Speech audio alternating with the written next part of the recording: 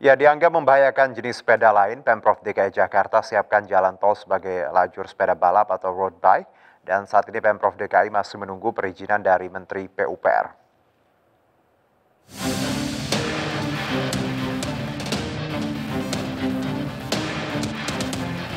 Pemprov DKI Jakarta berencana menjadikan jalan tol sebagai lajur sepeda balap atau road bike.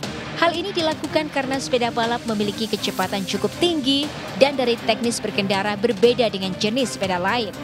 Kepala Dinas Perhubungan DKI Jakarta, Syafrin Liputo mengatakan, banyak sepeda balap yang melewati lajur kendaraan bermotor, sehingga dapat membahayakan diri sendiri dan pengguna lain.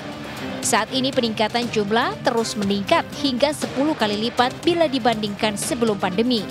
Syafrin menambahkan ruas tol Cawang menuju Tanjung Priok rencananya akan dijadikan sebagai lajur untuk sepeda balap. Nantinya bila disetujui, jam operasional akan dimulai dari pukul 6 hingga 9 pagi. Penjagaan yang ketat dari petugas di sepanjang tol juga akan disiagakan tiga unit ambulans.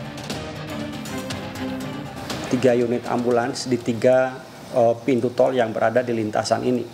Yang pertama ada di Kebonanas, kemudian di daerah Cempaka Putih, dan juga di daerah Pelumpang. Karena dia sifatnya adalah tiga lajur, kita akan siapkan uh, di tengahnya ada kon, yang itu mereka bisa ngelup di dalam. Jadi petugas patroli akan ngelup juga di sana. Begitu ada yang berhenti, itu akan diminta untuk terus melakukan pergerakan.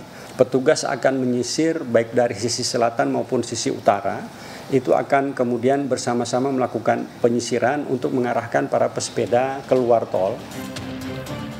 Saat ini Pemprov DKI masih menunggu perizinan dari Menteri PUPR apakah bisa segera dilaksanakan kebijakan ini.